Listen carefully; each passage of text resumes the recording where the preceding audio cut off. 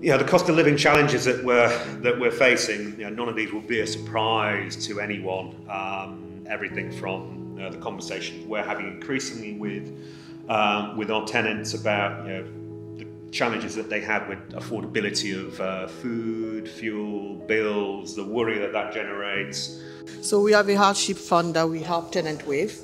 Uh, we got a lot of calls regarding food hardship and this is impacting as well on the rent arrears because they choose to pay the rent or you know the food so they prefer to pay the food so their rent arrears is increasing.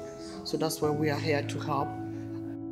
Our role here is to sustain uh, tenancies and to support people in, in, in, those tenancies but also uh, to ensure that we are um, you know, not allowing them to, to slip into you know, long-term structural debt. We need to be um, aware of that as a, as a landlord. It, it feels like a real crisis moment for many, a situation with mortgages affecting nearly all homeowners at the moment. But it's affecting people um, far more across the board than we've seen before. People on the, the, the least incomes are using pay meters to pay for their fuel and they're paying more than, uh, than other methods of payment.